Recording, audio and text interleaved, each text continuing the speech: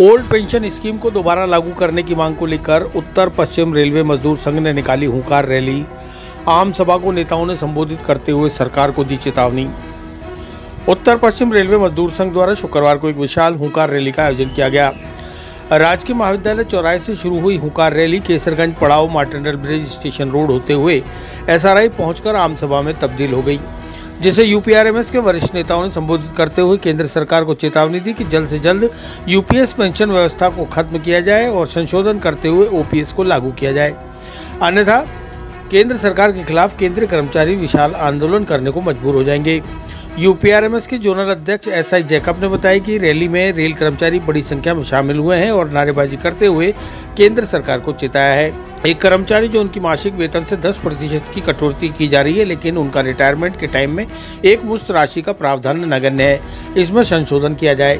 आज आप देख रहे हैं कि पहले तो ओपीएस में 20 वर्ष की सेवा के बाद पूर्ण पेंशन का प्रावधान था, लेकिन अब इसे 25 वर्ष कर दिया गया है। सरकार की नीति के अनुसार जो नया रिक्रूटर है, ऐसे कर्मचारियों को आज 25 वर्ष पूर्ण करने का अवसर ही नहीं मिल रहा है। इसलिए सरकार को अपनी नीतियों पर विचार और मंथन करना होगा। ताकि कर्मचारियों का कोई अहित न हो। पश्चिम रेलवे मजदूर संघ अजमेर मंडल द्वारा एक विशाल हुंगार रैली का आयोजन किया जा रहा है। इस रैली जीसीए चौराहे से प्रारंभ होकर केसरगंज, पड़ाव, रेलवे स्टेशन मार्टिना ब्रिज होते हुए एसआरआई में पहुंचकर सभा में परिवर्तित होगा।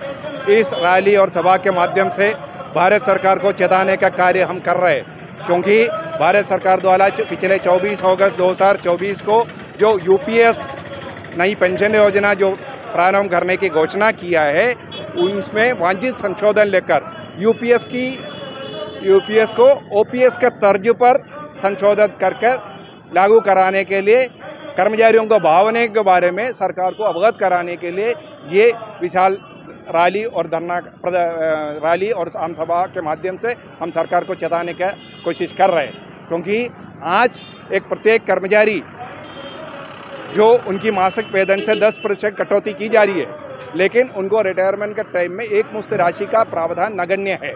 इसमें संशोधन आवश्यक है। जो एक औसत तौर पर 30 वर्ष में जो कर्मचारी सेवा पे आता है 25 वर्ष के बाद अगर स्वैच्छिक सेवानिवृत्त करने, लेने पर उनको पेंशन 60 साल बाद चालू होगा, यानी पाँच साल वो भूखा मरेगा।